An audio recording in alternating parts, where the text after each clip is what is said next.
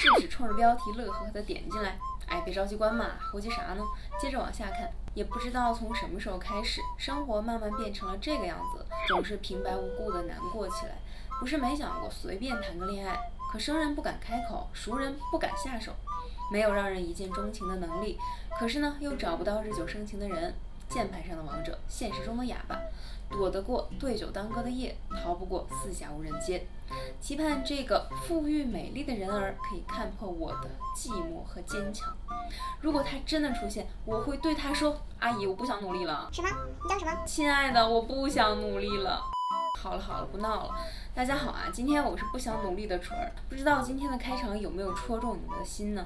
你们现在是不是就是这种状态啊？啊，扎铁了，不劳心。有多少不想努力的大兄弟们？评论里给我扣个一，我看看。我倒要看看有多少臭不要脸的爱做梦的人。烦死了！其实呢，今天啊，就是想跟你们聊一个特别现实的问题，也就是评论私信，包括我身边的朋友都会问的一个问题，那就是没钱怎么谈恋爱？如何白嫖到一个女朋友？你看看我每天给你们整这么多实在的，你们还白嫖？我现在该干点啥吗？不清楚。我来跟你们谈一谈啊，咱先不跟别人比较，就拿自己来说，你说你每天点个外卖，你都得选一个满减最划算的才能吃得起。你说你自己都活得这么辛苦了，这么不快乐，你还想找个人幻想着他可以给你带来快乐？可现实是，生活并没有什么改变，好像还更难了。烦恼不仅没有消失，还更多了。而你的那些烦恼呢，终有一天也会反作用到他的身上。本来是一个人的不快乐，现在变成了双倍的不快乐。你确定你会快乐吗？我知道肯定有大兄弟在评论里要说了，那没钱就不配谈恋爱吗？哎，我可没说啊。一个适合恋爱的人，首先要明白一个前提：你的生活应该因为恋爱而越来越好，变得越来越富裕，越来越快乐，而不是变得越来越贫穷。我一直认为啊，一个人有了喜欢的人，或者有了另一半之后呢，就会更加的努力。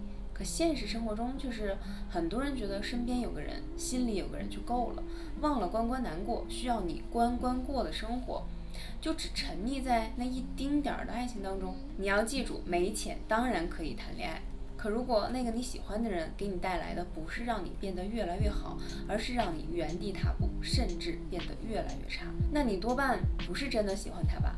他也未必适合你，你品是不是这个道理？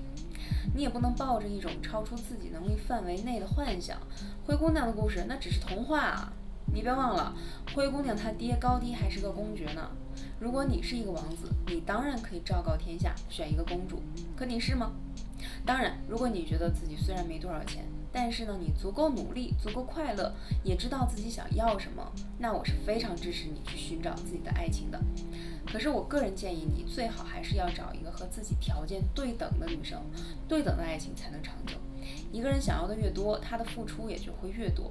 如果说你们对于所有事物的评价都不在同一个坐标之上，那就算你们在一起了，那也很容易会出现 bug 吧。虽说真正的感情没有什么配不配，但是有些一致真的很重要。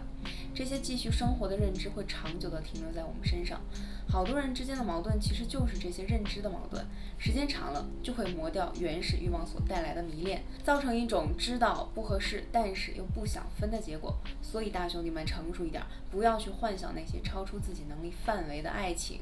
说了这么多，是不是又觉得生活又缺乏希望了，注定要孤独终老了？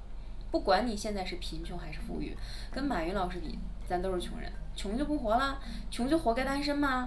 当然不是，有钱人有有钱人的快乐，没钱呢，咱也要有没钱人的爱情。记住，单身不丢人，穷又不努力，还在硬装逼露怯了，那才丢人。当然了，我知道有些大兄弟肯定要说了，楚儿三十年河东，三十年河西，莫欺少年穷。我相信啊，楚儿的大兄弟们都是有实力的。等各位老板发达的那一天，千万不要忘了呕心沥血的小女子我，楚儿在这里谢过了。如果你想学习跟女生聊天的技巧，想要学习如何吸女生，让她倒追你，或者有恋爱追女生、相亲挽回方面的情感问题需要帮助，那就添加我的微信号 c c x t 六六八，我来帮助你哦。